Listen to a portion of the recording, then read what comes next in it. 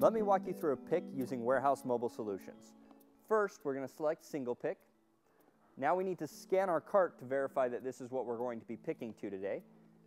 We're going to select our first line on this order.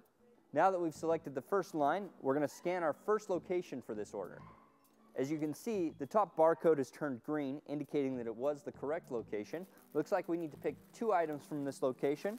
We're going to go ahead and scan the barcode to verify that it's the correct item. As you saw, it incremented by one, showing that we've scanned one of the items. So we're going to go ahead and scan the second item, incremented up by two. All right, it was correct. Order auto advanced to the next line in this order. So we're going to go ahead and scan the location for the next line. Barcode turned green, indicating it was the correct location. We're going to go ahead and scan the barcode to verify the item was correct. So we'll go ahead and place that on our cart. On this one, we're going to go ahead and scan an incorrect location.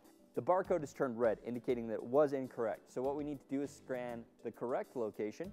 Now that we've scanned the correct location, barcode turned green. Looks like we need to pick a single item from this location. We're gonna go ahead and scan the barcode.